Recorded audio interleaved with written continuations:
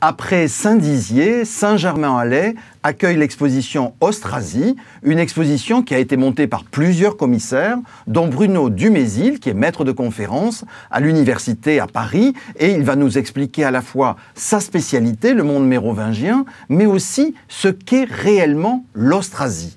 Alors dites-nous, comment devient-on spécialiste et commissaire d'exposition? Alors comment devient-on austrasien d'une certaine façon Austrasien, exactement. Bien, lorsque Clovis meurt en 511, son royaume est partagé entre ses quatre fils. Le fils aîné récupère les territoires de l'Est qui n'ont pas de nom, mais au bout d'un demi-siècle, au fur et à mesure des réformes territoriales, un nom apparaît, l'Austrasie. On ne sait pas ce que ça veut dire.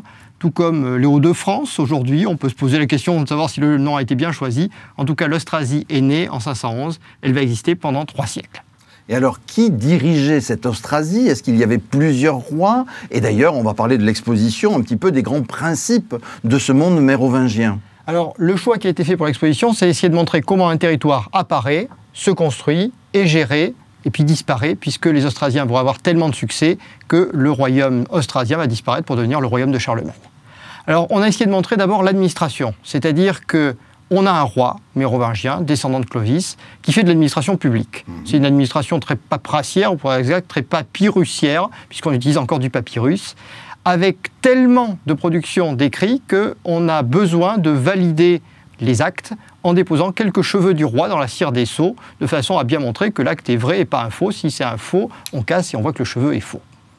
Formidable, ça. Alors là, je ne me rappelais pas de tous ces détails dans l'exposition. Mais alors, ce qu'il y a de bien dans l'exposition, c'est que c'est assez vivant, puisqu'on parle à la fois de la vie quotidienne, mais aussi des fouilles. Alors, comment est-ce qu'on enrichit nos connaissances aujourd'hui? D'abord, un, quelles sont les grandes fouilles? Deuxièmement, comment est-ce qu'on connaît tout ça? Est-ce qu'il y a des textes très précis? Et comment est-ce qu'on peut l'illustrer dans une exposition? Alors les textes, on les connaît depuis très longtemps, on peut les interpréter d'une façon ou d'une autre. Au XIXe siècle, on a vu une Austrasie très violente, parce qu'on n'est pas trop les Allemands en France. Donc il s'agissait de montrer que c'était le royaume de l'Est et le royaume des barbares. Mais depuis quelques années, et surtout depuis euh, l'apparition du TGV Grand Est, on a une masse de documentation qui est apparue, la documentation archéologique. Alors comment est-ce qu'on arrête un chantier pour fouiller? C'est ça, on dit halte là, on a peut-être des documents à trouver. Alors oui, on a un système d'archéologie préventive qui est particulièrement dynamique, notamment grâce à l'INRAP, qui est partenaire de l'exposition, qui permet d'arrêter les chantiers, de faire des fouilles, généralement rapidement, efficacement, et de sortir quelques vestiges. Parfois, c'est tout à fait humble. Hein. On commence par des fonds de cabane pour montrer comment euh, ces trous qui ont longtemps été interprétés comme les habitats des Australiens sont en fait des annexes techniques. Pendant longtemps, on a pensé que les gens vivaient dans ce qui était en fait des hangars. Mhm. Il y avait vraiment des maisons, il y avait véritablement une vie rurale, dynamique, efficace, bien organisée, autour de lieux de pouvoir que l'on commence à voir.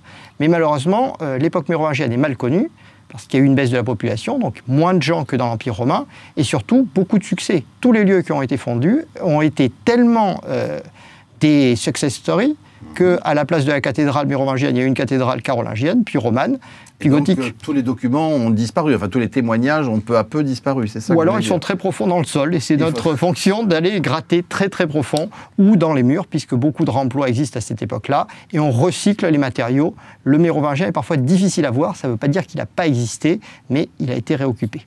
Alors, est-ce qu'il y a le même intérêt côté français ou côté allemand? Est-ce qu'à Metz, est-ce qu'à Trèves, on fouille de la même manière et on s'intéresse de la même manière à ce sujet? Alors, l'Austrasie, ça a été un territoire qui était l'objet de tensions européennes à partir du Xe siècle de notre ère, donc pendant près d'un millénaire, jusqu'à l'histoire de l'Alsace-Lorraine. Tout le monde a voulu récupérer un bout d'Austrasie parce que c'est là qu'est apparu le grand royaume qu'on appelait soit le monde France, soit le Saint-Empire. En tout cas, c'est la mémoire partagée.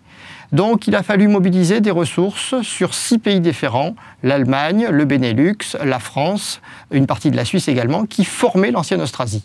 Les méthodes sont différentes, les apports sont différents, la civilisation n'est pas exactement la même. Le royaume d'Austrasie, c'est très composite, il y a des morceaux à droite et à gauche, chacun vivait un peu différemment, mais en rassemblant les morceaux, on arrive à voir comment une pure création administrative réussir à générer peut-être pas une civilisation, le mot un peu trop fort, mais en tout cas un mode de vie particulier. On s'est senti austrasien, du moins certaines personnes se sont senties austrasiens, et on produit des objets qui pour certains sont magnifiques. Alors qu'est-ce qu'on peut voir? Quel type d'objets justement? Parce que ça intéresse quand même nos amis archéologues ou amateurs d'archéologie. Qu'est-ce qu'on peut voir en termes d'objets d'art? Alors, ce qui est merveilleux, c'est que les Australiens se font enterrer habillés. C'est-à-dire que plus on est haut dans la société, plus on se fait enterrer avec un type d'objet différent, avec des types d'objets différents, notamment de l'armement. Mhm. Les Australiens sont spécialisés dans les épées, des épées extrêmement complexes, qu'on appelle les épées damassées, avec trois types de métal différents, avec des poignées en or, des pierres précieuses.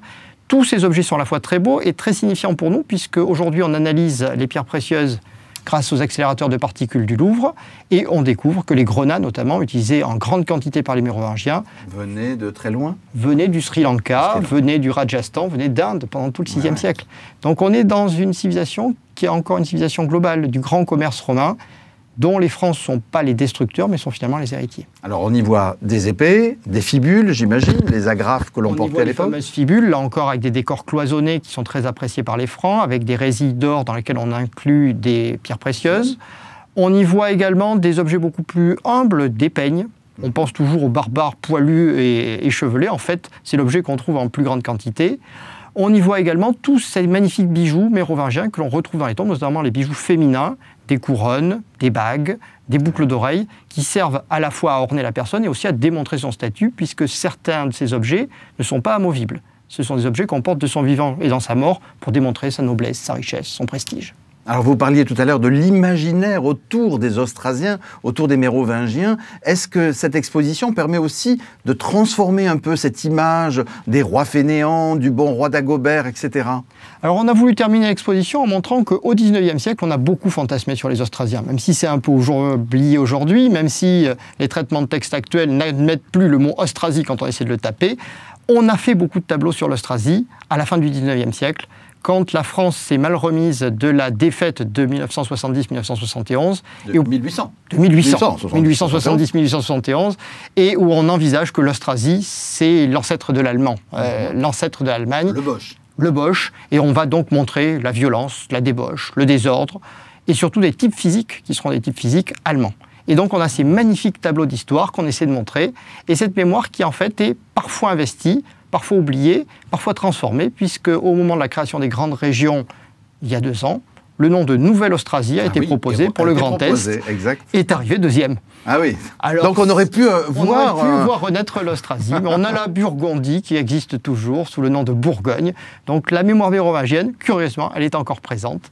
Et euh, des expositions comme celle-là permettent de voir que ces trois siècles d'histoire ne sont pas une période blanche dans l'histoire. Non, merci. Alors, je rappelle que le titre exact, c'est Austrasie, le royaume mérovingien oublié, que l'exposition est au Musée d'archéologie nationale de Saint-Germain-en-Laye et qu'elle dure jusqu'au 2 octobre. Merci. Merci.